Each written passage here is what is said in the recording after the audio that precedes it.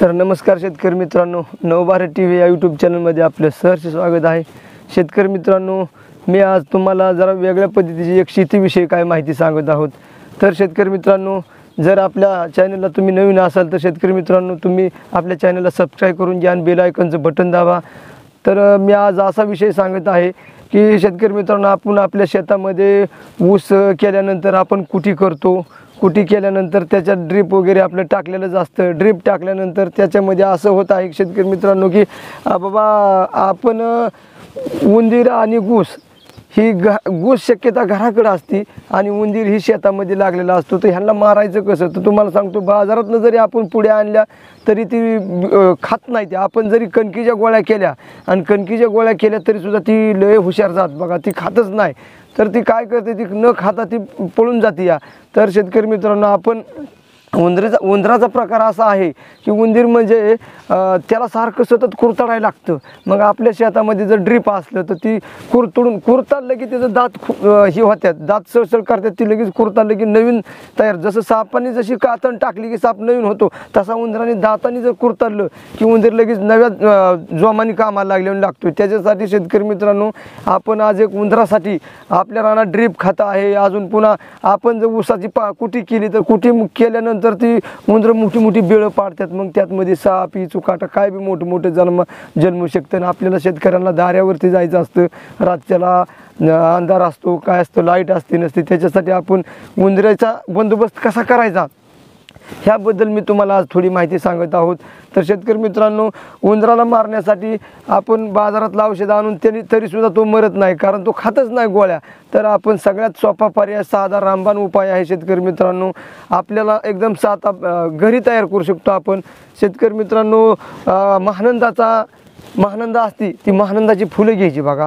आणि महानंदाची फुलं आणायची एक दहा पाच. आणि महानंदाची फुलं आणि धोत्रा असतो ते आपल्या उखांड्यावरती उगवतो बघा. ते धोत्र्याचं जी फळं असतं ती गोल काटेरी ती धोत्र्याचं काटेरी फळ एक घ्यायचं बघा. एक दोन चार ती फळं घ्यायची. आणि त्या दोन चार फळाचा कट करून चाकूनी असं थोडे थोडे बारके बारके तुकडे करायचे. महानंदाच्या फुलाचे बी थोडे थोडे तुकडे करायचे. त्याचा सगळा मिक्स करून डायरेक्ट ते आपल्या मिक्सरमध्ये ते चांगल्या पद्धतीचं त्याचं मिक्स करून एकदम बारीक करायचं.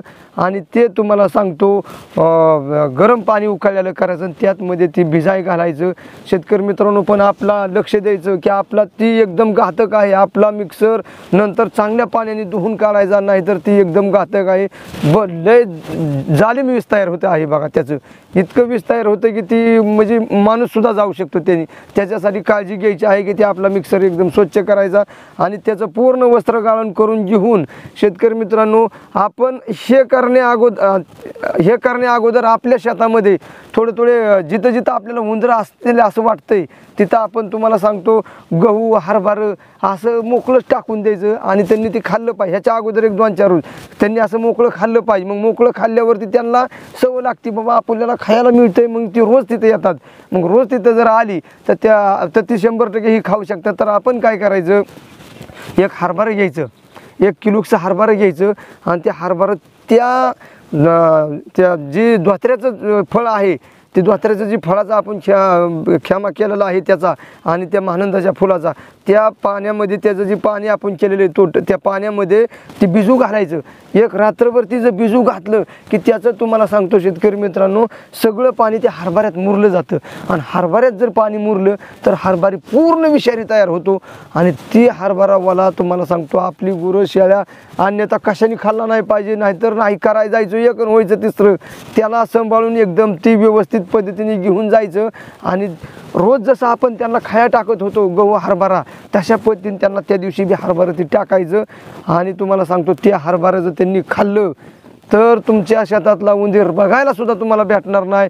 तर शेतकरी मित्रांनो फक्त काळजीपूर्वक करायचं. काळजीपूर्वक केलं पाहिजे नाही तर नाही काळजी घेतली तर तिसरंच काहीतरी होऊ शकतं. काळजी केली पाहिजे ती आणि व्यवस्थित पद्धतीत त्याचं नियोजन करू करून ते ठेवलं पाहिजे. ती हा सगळ्यात सोपा उपाय आहे. बिगर खर्च आहे काय सुद्धा नाही. फक्त त्याची काळजी घेऊन करा.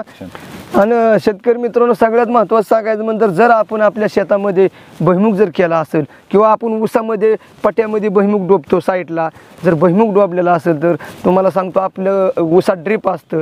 आणि ड्रीप असल्यामुळे शेतकरी मित्रांनो भुईमुग असल्यामुळे उंदीर हे हमखास आपल्या शेताला लागतोच. आणि उंदीर लागलं की ती तुम्हाला सांगतो उंदीर भुईमुगाच्या शेंगा तर येऊनच देत नाही. आणि ही ड्रीपचं तर अख्खं वाटोळं करतो. पुन्हा आपल्याला सगळं ड्रीप जोडावं लागतं. रातचा अहोरात्र जाऊन तुम्हाला सांगतो ड्रिपचं तर पूर्ण वाटोळं करत आहे. त्याच्यामुळं बहिमुख जर असला ना शेतकरी मित्रांनो बहिमुगाचं तर पूर्ण भिंगऱ्याच करता येते एकदम. सगळ्या शेंगाने शेंगा खातं त्याच्यासाठी मोठं मोठं त्याच्या मागं उंदराच्या मागं मोठं मोठं साप देखील येते ती. ते आपल्यासाठी कितीतरी घातक आहे. तर साधा आणि सोपा शेतकरी मित्रांनो उपाय आहे. घरगुती उपाय आहे. फक्त करताना काळजीपूर्वक करायचा. काही अवघड नाही. लहान मुलांपासून लांब करायचा जेणेकरून मुलांना कळलं सुद्धा नाही पाहिजे बाबा ही केलेलं आहे. कारण तो ती जी मी आता सांगितलेले द्वात्र द्वात्र्याचं जे फळं आहे ती खूप विषारी आहे. आणि महानंदाची फुलं ही दोन्ही मिळून इतकं जालिम वीज तयार होत आहे की ती तुम्हाला सांगतो त्याचं म्हणजे वास सुद्धा की वाटत नाही. इतक्या खूप जाणीव पद्धतीचे वीज तयार होत आहे. त्यासाठी त्याला काळजी करून ते करायचं आहे. तर तुम्हाला सांगतो शेतकरी मित्रांनो तुमचे हमखास उंदर मेल्याशिवाय राहणार नाहीत. फक्त काळजी करून करा.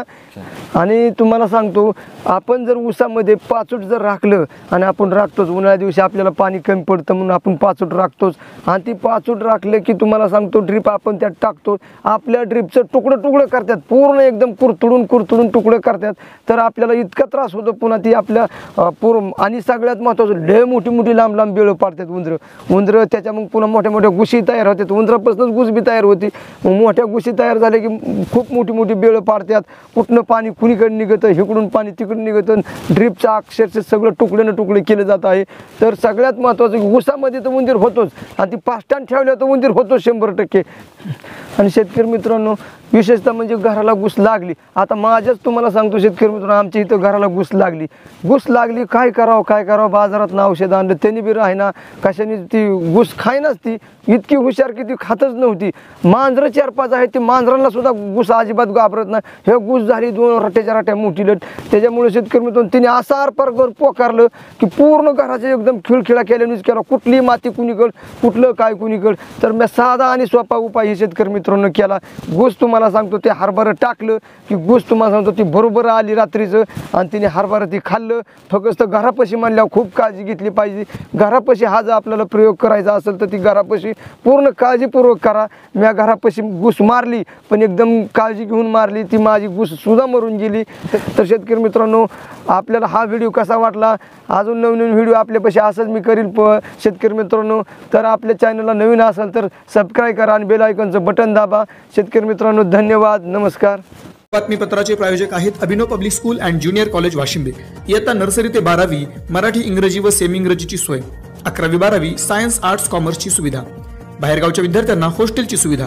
स्कॉलरशिप ऑलिम्पियाडसह अनेक स्पर्धा परीक्षांची तयारी एकाच ठिकाणी. संपर्कासाठी पत्ता Abhinav public school and junior college Washimbe तालुका करमाळा जिल्हा सोलापूर. मोबाईल क्रमांक चौऱ्याण्णव एकवीस अठ्याहत्तर अडोतीस त्र्याण्णव. मोबाईल क्रमांक चौऱ्याण्णव एकवीस अठ्याहत्तर अडोतीस त्र्याण्णव.